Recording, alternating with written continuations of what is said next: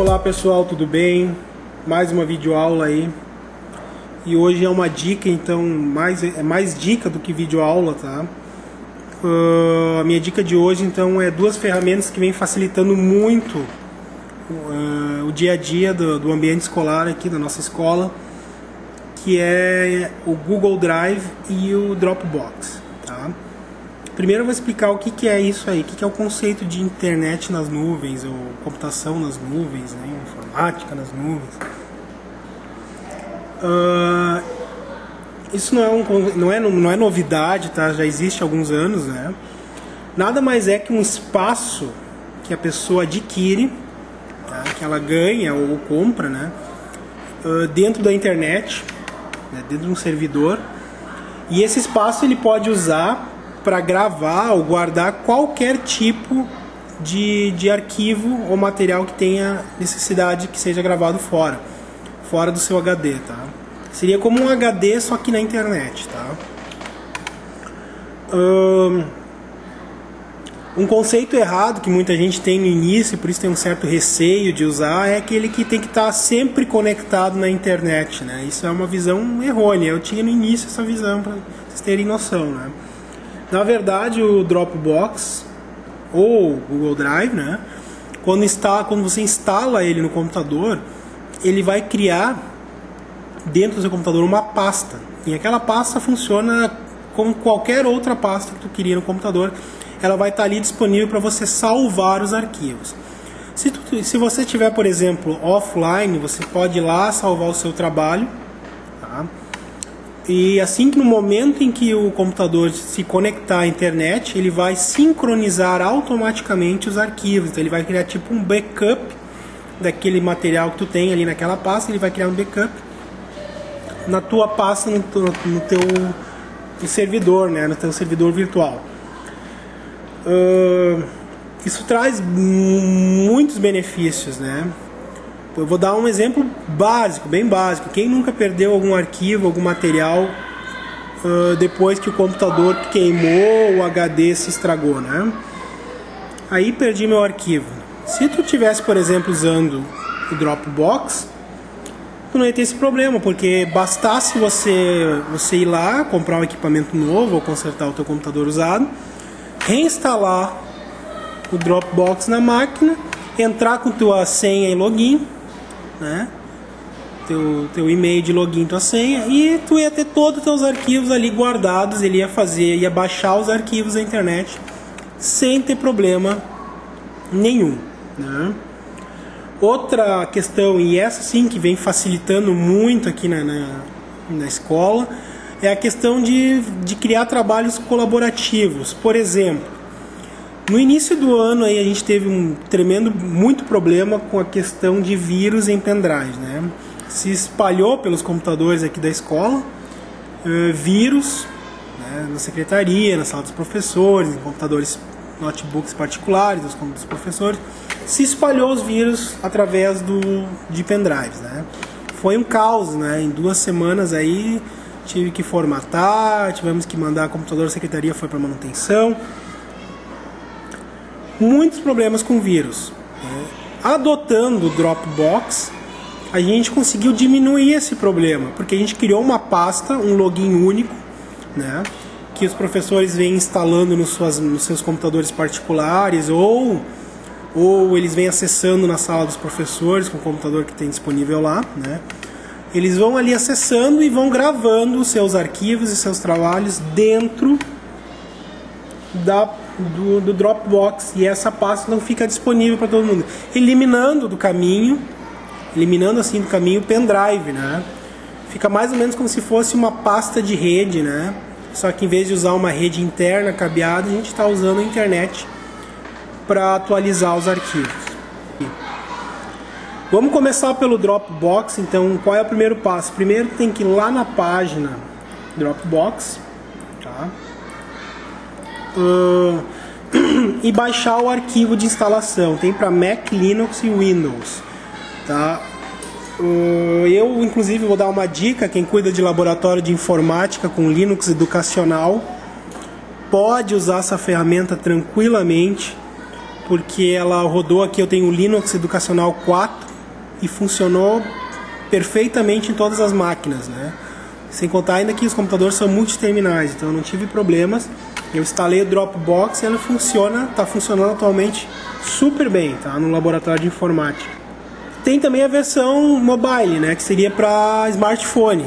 Isso também é uma grande sacada, né? Tu pode instalar o Dropbox no teu celular. Então, passado o teu celular, os, os arquivos direto para tua pasta e depois tu pode acessar eles no teu computador sem precisar usar cabos ou, ou outro, outra ferramenta. Tu pode passar pelo teu disco virtual isso. Tá? Depois que baixou o arquivo, né, o pacote, instalou ele, tá? ele vai pedir logo no início, vai aparecer essa tela aqui. Aqui tu tem que prestar atenção no seguinte, a primeira opção é para tu criar uma conta nova do Dropbox. Se tu não tem conta no Dropbox, tu clica nessa opção ali. Aí vai abrir um campo, tá? Para tu inserir o teu e-mail, né, e o password para criar a conta, tá? Tu cria a tua conta, cadastrou ela uma vez, beleza. Se tu quer usar essa pasta com mais pessoas, né, mais pessoas tenham acesso à pasta, tu não vai em criar nova conta, tu vai na opção de baixo, tá? Que tu já tem uma conta cadastrada, ok? Aí ali tu vai colocar o e-mail e a senha, sempre o mesmo e-mail e a mesma senha. E vai clicar para continuar. Né? Ele vai apresentar um pequeno tutorial que tu não precisa, pode dar uma olhada, ele está em inglês, né? Se tu quiser, pode pular direto para o final da instalação. Depois de instalado, ele vai criar na tua área de trabalho ah, uma pastinha, uma caixa azul. Dois cliques na caixa azul, tu vai poder ter acesso então aos arquivos. Aqui no caso da videoaula, eu vou abrir a pasta, vocês vão ver que tem nome de vários, né, todos, todos os professores aqui da escola. Então cada professor aqui usa a sua pasta, tá? guardando dentro dela os seus arquivos, né? que querem mandar para impressão ou que querem guardar ali para depois abrir em outro ambiente. Né? Tá? Então aqui então tá todas as pastas para vocês terem uma ideia, né? Também no canto direito fica uma pastinha aqui em, em miniatura, tá? uma caixinha azul, aliás. Então a mesma coisa, aqui tu consegue acessar as ferramentas do programa, que são poucas, né? Mas que pode dar uma olhada clicando com o botão direito ali, né? E em preferências, ok? Um, importante então, quando tiver esse sinal de certo verde, esse pequeno sinalzinho ali, isso quer dizer que uh, todas as pastas estão, todos os arquivos estão sincronizados, quer dizer, o que tem guardado lá está guardadinho certinho aqui, né? Então não tem problema. No meu computador, está dentro da minha pasta, dentro do meu computador. Quando ele troca esse símbolo verde para um azul, quer dizer que ele está sincronizando, né? E aí é óbvio, quanto mais arquivos eu tiver dentro dessa pasta, mais tempo vai demorar para eu sincronizar. Se eu botar um vídeo aí de 200 megas dentro da pasta, uh, é óbvio que vai demorar para sincronizar em todos os computadores, porque eles vão ter que baixar esse arquivo em, todas, em todos os computadores disponíveis na, na rede. Então, quanto maior o arquivo, mais tempo de sincronização vai demorar. É, por isso eu recomendo mais Dropbox para quem quer usar com arquivos de trabalho de texto, algumas imagens para impressão, né? Se tu for usar ele para, por exemplo, para vídeos, ele já se torna, já não se torna tão interessante, né? É uma ferramenta tão interessante assim, vídeos e fotos, né? Tá? Lembrando que o Dropbox ele também vai te oferecer numa janela lá na hora da instalação, ele vai te oferecer o básico, que é 2 GB e meio, se eu não me engano. E tem outras versões ali com que, que são versões pagas, né? É, se eu não me engano, por ano a versão de 100 GB uh, por ano custa 99 dólares. Isso aí, valor vai mudando, né? A pessoa tem que ir se atualizando. Né? Então a versão básica é 2 GB e meio, tá? E é de graça, ninguém paga para isso. Tu pode aumentar essa, esse espaço seguindo uh, os, uh, seguindo a orientação e eu vou abrir aqui na página para vocês poderem ver. Aqui na opção obter espaço livre, tá? E aqui vocês vão ter que ter uma, vão ver que tem uma maratona de, de, de tarefas para vocês ganhar espaço. Aqui no meu caso eu só tenho mais três disponível porque eu já fiz as outras. Por exemplo, para ganhar 100 megas tu pode clicar aqui e divulgar no Twitter. Uh, baixar a versão é, mobile, né? Aí tu vai ganhar ali 250 megas. Então tu vai ganhando espaço conforme tu vai fazendo a divulgação do programa. Outra coisa legal também, tu pode ganhar 500 megas por cada amigo que for indicar. Então se eu indicar o Dropbox para um colega e esse colega for através do meu e-mail aderir ao programa, eu ganho automaticamente 500 megas de graça para usar. Tá? Isso é bem interessante para tu pode até expandir até 16 gigas de memória. Então hum, é uma ferramenta bem interessante. Eu acho que até inclusive antes eu falei 2 mega, na verdade é 2 gigas, né? Fazendo uma pequena correção de percurso. Né? Ó, atualmente, então a gente conta aqui com 3 GB, 3,38 GB de espaço gratuitos, tá? E por último também no Dropbox, eu posso acessar ele da página do Dropbox, né, da própria página da internet. Eu não preciso ter instalado no meu computador o programa.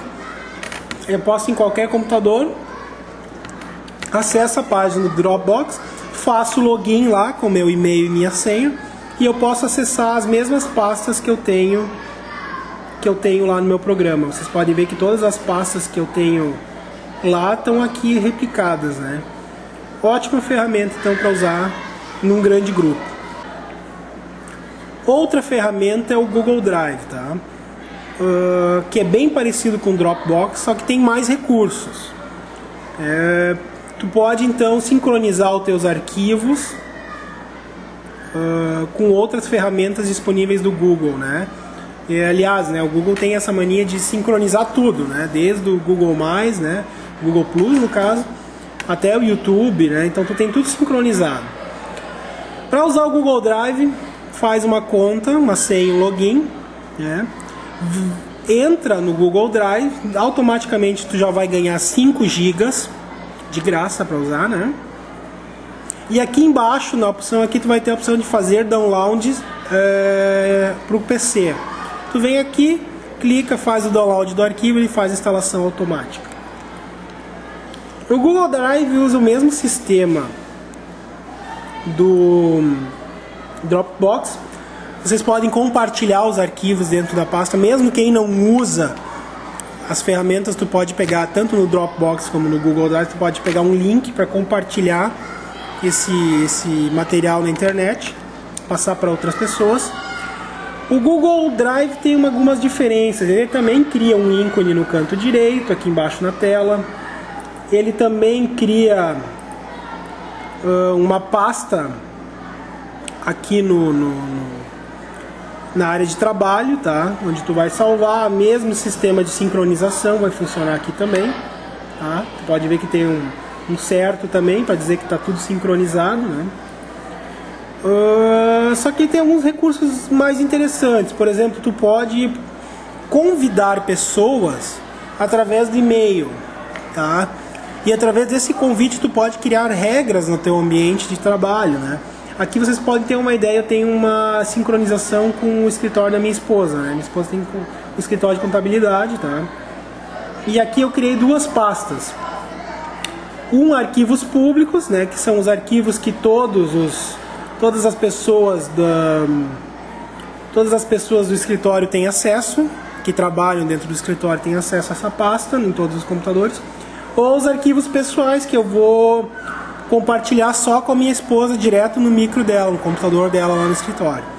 Então eu posso também compartilhar arquivos, né? Então essa tem outras ferramentas aí na internet que tu pode baixar eu estou só usando, dando de exemplo Dropbox e Google Drive porque eu uso. E eu recomendo então para que vocês implantem aí no, na escola de vocês ou no ambiente de trabalho de vocês como uma ferramenta de trabalho. Ok? Essa seria a minha dica de hoje.